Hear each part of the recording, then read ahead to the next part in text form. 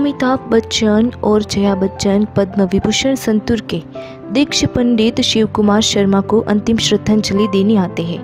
पंडित जी का चौरासी वर्ष की आयु में निधन हो गया। कथित तौर पर हृदय गति रुकने के कारण ये हुआ। बिग जी, पंडित जी के बेटे राहुल और उनकी पत्नी परका शर्मा से बात करते नज़र आए। राहुल भी है संतुर वादक। क्या आप जानते हैं? इससे पहले एक इंटरव्यू में बिग जी ने एक बार कहा था कि वह उम्र को लेकर बहुत चिंतित है।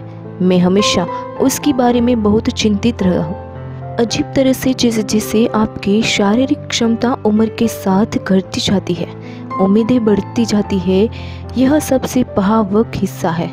लोगों की उम्मीदें इतनी अधिक है कि यह मुझे डराता है और जीना लगभग असंभव है इसके लिए उन्होंने कहा, पंडित जी ने सात साल की उम्र में संतूर बजाना शुरू किया था।